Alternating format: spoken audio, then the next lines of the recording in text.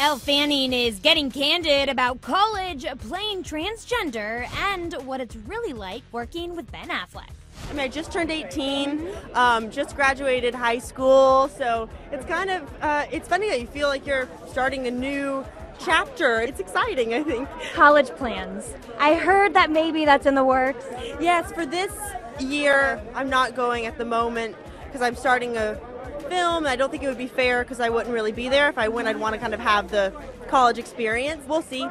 Yeah. There's always there's always time, I think, for that. A lot of buzz surrounding About Ray. Oh yeah. Let's talk about that role and what you had to do to research that project and, and what you learned from it. About Ray was a really um, one of the most amazing roles I've ever played. Probably the most challenging. Uh, I played a transgender boy, and I got to meet with so many amazing um, young guys. Just talking to them and hearing their stories, it was powerful. You know, y'all never fully feel the way they feel, but I think to have a, a movie that's about a transgender teen um, isn't done often, but it needs to be out there. So maybe, you know, someone that's kind of going through what Ray is going through, maybe, you know, they'll relate to them and and know that they're being heard at least. I want to ask about this new project with Ben Affleck that you, I don't know if you guys filmed it yet or if it's, okay, it's already wrapped. Yes.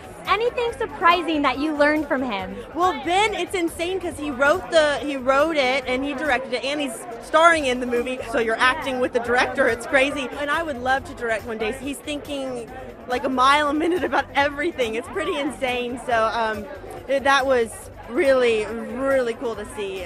He's, of course, Batman. Do you have an itch at all to get into the comic world? Yeah, that sounds so cool. Um, gosh, I like who would I be? I mean, there's so there's so many good ones like uh-huh. Batgirl, Catwoman, all those. You know, It'd be amazing. yeah, they're neat. Yeah, I would love it.